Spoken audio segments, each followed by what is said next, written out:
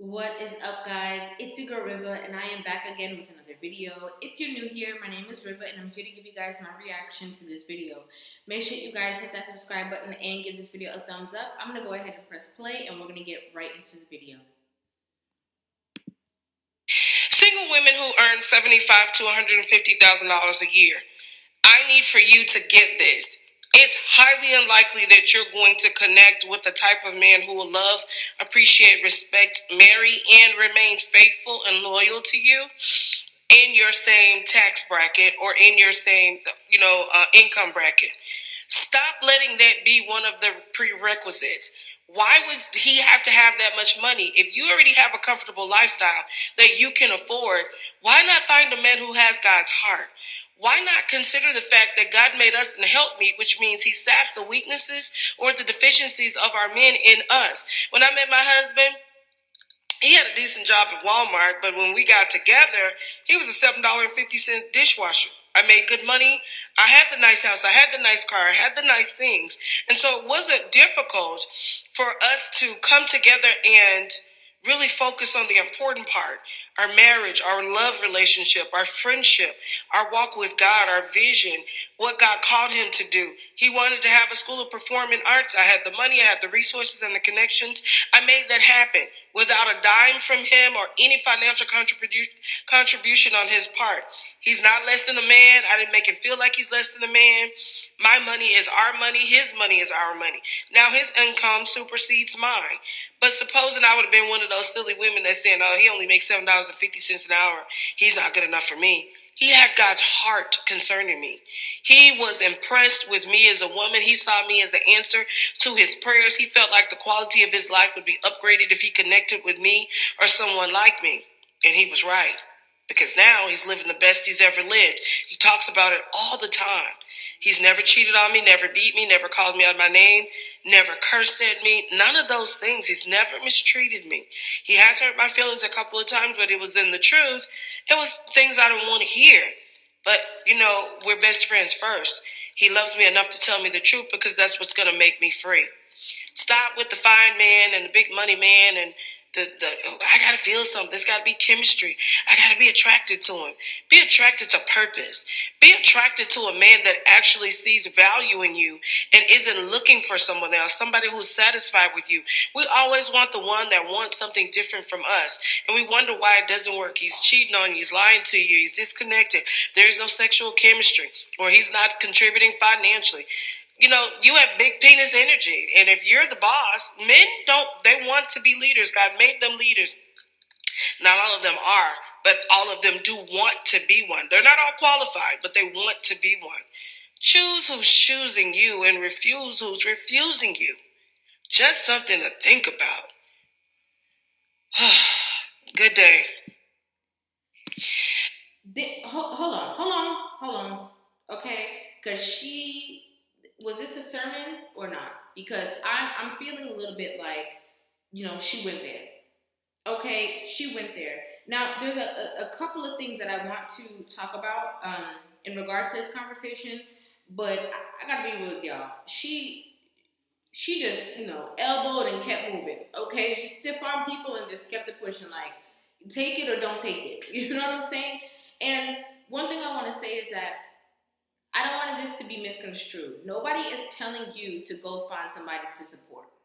Okay? Nobody is telling you that you must, because um, you make a certain amount of money, you must find somebody who is making less than you, and that's the only way that somebody will love you if we want to have the full entire conversation, that's not true. It could be a lot of different things, right? It, some people who make a lot of, some doctors marry doctors, some lawyers marry lawyers. Like these are things that are possible. But at the end of the day, when you're single, okay, and the only thing that you do have is your puppy and your money, and you talking about that you only gonna be with a certain standard of, per, of person or only a man that makes a certain amount of money and that same exact man that is around you all the time whether it's in business meetings whether it is in the office or whatever it is that you're always coming in contact with these same people that have the same wealth as you or more than you and they are not pursuing you you might need to explore some different options. Okay? But I, she said so many things that i want to just keep going into the video and then breaking them down as we go Single women who earn seventy-five to one hundred and fifty thousand dollars a year, I need for you to get this. It's highly unlikely that you're going to connect with the type of man who will love, appreciate, respect, marry, and remain faithful and loyal to you in your same tax bracket or in your same, you know, uh, income bracket. Stop letting that be one of the prerequisites. Why would he have to have that much money? If you already have a comfortable lifestyle that you can afford, why not find a man who has God's heart? Why not consider the fact that God made us in helpmeet, which means He staffs the weaknesses or the deficiencies of our men in us? When I, I love this because what she's basically saying is instead of you just focusing on, um, you know, financial gain, instead of you just focusing on things that you know can just bring you wealth, or instead of you just focusing on the fact that you know um, you need this this man to have this amount of money in his bank account, like you should be also looking at other qualities. You should also be looking at greater things. You should also be focused on um, you know, this person's character, their principles, their structure, their mindset right? Like that is what you should be focused on. I'm sorry I keep looking out the window, guys, but I see this man picking some mangoes. Okay? Um, if y'all didn't know, I'm in Jamaica and I see this man picking some mangoes off the tree, and I'm hoping that he doesn't pick them all. Anyway, um, so you have to be focused on the, the qualities that's going to make your man a great husband, a great father, a great leader, and not just only what's in his bank account. And I'm going to be clear. I think there's a there's a portion of women who get this already, right? There's some some women who have wealth, they have the house, they have the car, they have uh, the great credit, they have everything, and they they understand the value of a man, and so they don't look at him and only feel like they only need to obtain, um, you know, they, they need to obtain so much wealth or whatever it is. They understand that I, I need a man in my home for protection, for guidance, you know, I need that masculine energy in my life. It makes me think clearly. It makes me focus. It makes my vision, you know, expand. It makes my blessings overflow. You know, when the two get together and have a, a, you know a great relationship, a great connection, there's literally nothing that you cannot accomplish with the masculine energy and the feminine energy coinciding with one another. But um, let's continue. My husband, he had a decent job at Walmart, but when we got together, he was a seven dollar and fifty cent dishwasher. I made good money. I had the nice house. I had the nice car. I had the nice things. And so it wasn't difficult for us to come together and really focus on the important part our marriage, our love relationship, our friendship, our walk with God, our vision, what God called him to do. He wanted to have a school of performing arts. I had the money, I had the resources and the connections. I made that happen without a dime from him or any financial contribution contribution on his part. He's not less than a man. I didn't make him feel like he's less than a man. My money is our money. His money is our money. Now his income supersedes mine. But so this is the only part, right? I understand the point that she's trying to make because some people need to hear the entire story, right? Like some women need to hear the entire background um, of the situation to realize that it's okay to support your man and not think anything of it, not look at him any different because he needed your assistance. Nothing wrong with that. The only thing is that I, I feel like this part of the, and this is my only my opinion, this part of the conversation she could have just skipped over and just kept making the example. Just because maybe you're not to make your man feel less of a man because, you know, you helped him out and you started your business. And I'm, I'm sure she doesn't even care about what other people think. But this can, this is almost like a form of like, um, a slight form of like emasculation when it comes to your man because to other men, you know, men are very hard on themselves. They have to create their own wealth. You know, they have to be on their purpose, get in the back before they even choose a woman. And the fact that you're saying that like you you started his business for him, and he didn't con- contribute to the business at all, even though now he makes more money than she does now.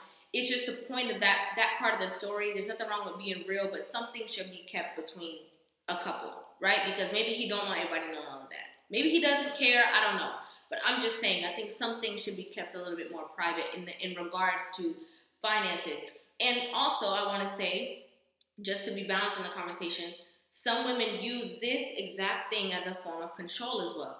So you have to know the type of person that you're with because some people will use the fact that you don't have as much money as them as means to control you. Oh, you don't have to go get a job. You don't have to do this. you don't have to work, you don't have to do this. I can have all the money, but it's because of fear that if you go into the workforce, maybe you'll find somebody that's more attractive, maybe you'll find somebody that's more suited. And so if they can keep you in the house and provide this comfortable lifestyle for you, hopefully that will make you want to stay with them even more. So I think it's also important to find out um, the type of person that you're dealing with, the type of woman that you're in a relationship with, to make sure that it's not from control, it's not from this, it's just a woman that's kind of supporting you and supporting your vision. I think that that's an extremely important um, factor of the entire conversation, though, is because, again, people can use these things as manipulation tactics. Tabitha Brown has a great story. You know, um, her man, her husband was supportive of her in her acting career. You know, he had to work like, you know, crazy hours, crazy long hours to, to be able to support her and to support the family while she was going on auditions and acting gigs and stuff like that. And, you know, as soon as her career has taken off, she let her husband know, like, hey, I know that this is not what you wanted to do. You have a passion outside of the job, but you were working this job to be able to support us and to support your family. And so she now is making, you know, a certain amount of money where she can say, let's focus on your passion. Let's focus on what you want to do. Let's focus on what it is that you are, um, what's going to make you happy instead of just focusing on, you know, the amount of money or whatever it is. And now he is able to do and pursue his passion instead of having to go into work a job um, because he no longer has to carry the weight because she's able to assist him. And now the roles have reversed when it comes to who's the breadwinner, but it's benefiting the entire unit. And I think that that's what it's about. Like having a relationship, it's not just about, oh, you know, my man has to be a provider and, you know, he got to do this and he got to pay all the bills and I could just, you know, buy groceries and that should be enough. Because at the end of the day, your man, say for instance, your man does make a whole bunch of money. What if he gets sick and he needs you to his support? Does that mean that you you're going to leave him because you choose that you are not going to support support your man? Or are you going to be able to be that helper right, assistant, and assist your man in the needs that he's requiring at that time. That is what we really have to ask ourselves. That's that's what's extremely vital to find out. But I want to know what you guys think about this in the comment section down below. I love the video. I love the video. I loved everything that she had to say. Of course, let me know what you guys think about this again in the comment section down below. Hit that subscribe button and give this video a thumbs up. And I, of course, will see you guys in the next video. Love you to all of my mango lovers out there, I know that this is not a part of the video, but to all my mango lovers out there who I told y'all I saw this man picking the mangoes off the tree, I just want to let you know this is why I love Jamaica. Okay, this is why because I saw him picking them. When I finished this video, I knocked on the window. I asked him to please save me some, and he gave me three of the best mangoes. If you love mangoes, you will understand the bliss that I have. But I just wanted to say this is why I love Jamaica. Okay, because if you do this in the States, if you see somebody picking something in the States and you ask them for something, they'll be like, I can't hear you. Next thing you know, they run, hop over the fence, and they're gone. But the fact that he literally not only waited for me, but gave me the best three is just bliss. But anyways, I'll see you guys in the next one.